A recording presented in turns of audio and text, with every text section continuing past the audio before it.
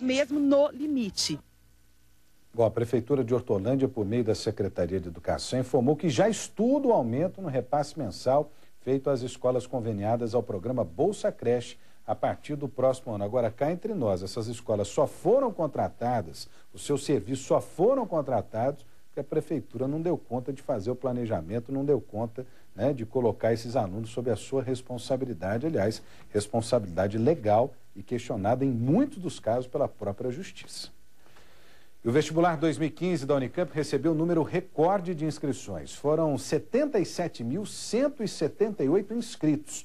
É o sexto ano consecutivo em que a Universidade Estadual de Campinas registra crescimento no número de candidatos. Serão disputadas 3.320 vagas, distribuídas em 70 cursos de graduação.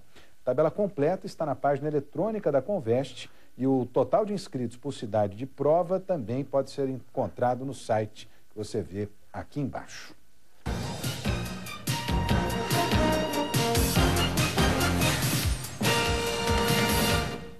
Depois da operação da Justiça Eleitoral, que retirou mais de 1.300 placas e cavaletes de políticos das ruas de Campinas, ainda tem candidato que insiste em desrespeitar a lei.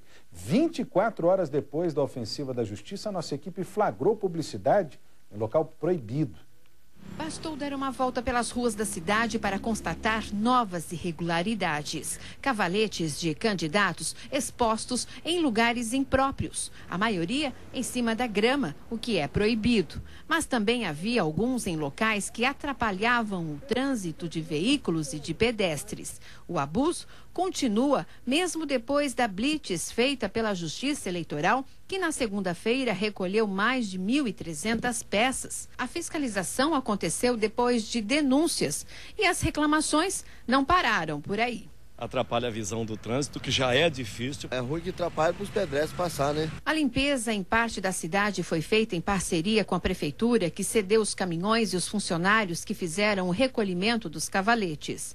Todo o material de campanha irregular está à disposição da Justiça Eleitoral. Segundo o tribunal, o valor da multa pode variar de dois mil a oito mil reais. E se houver reincidência, a penalidade aumenta. Se ele colocar no mesmo lugar ele vai estar tá infringindo a lei. Nós vamos estar tá mandando isso para São Paulo e em São Paulo eles fazem um processo de representação para multar o candidato.